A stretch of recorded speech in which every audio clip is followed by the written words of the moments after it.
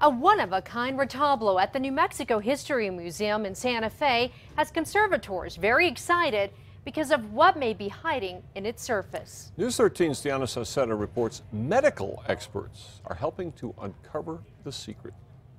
Religious art is a tradition in New Mexico, retablos, santos, and bultos.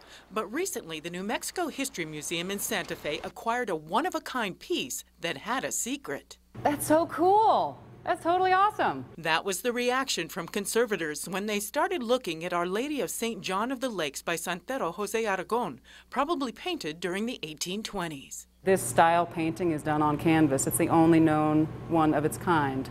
And that in itself makes this a unique piece. Like most Santeros, Jose Aragon worked on wood, but the fact that this piece is on canvas only brings forth more questions.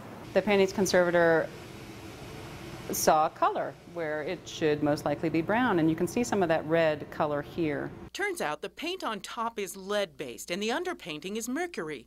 That told experts there are two separate paintings done at least 100 years apart. X ray Associates of New Mexico offered to take a closer look. They just got kind of got excited at looking something different and said, is our, is our CT scan open? And they had an opening for 10 minutes and they decided like, yeah, let's, come on, let's squeeze it in. So we put it on the table and lined it up with the laser beams. It's clearly not part of the painting that we see right now on the canvas. Those x-rays and CAT scans will need hours and hours of comparison. We feel confident that it's another virgin, but which virgin we still do not, do not know.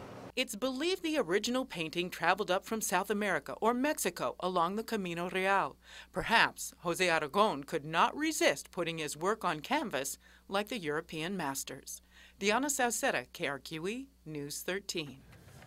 So, when can you see it? Well, the retablo on canvas by Jose Aragon will not go on public display until Mother's Day 2014.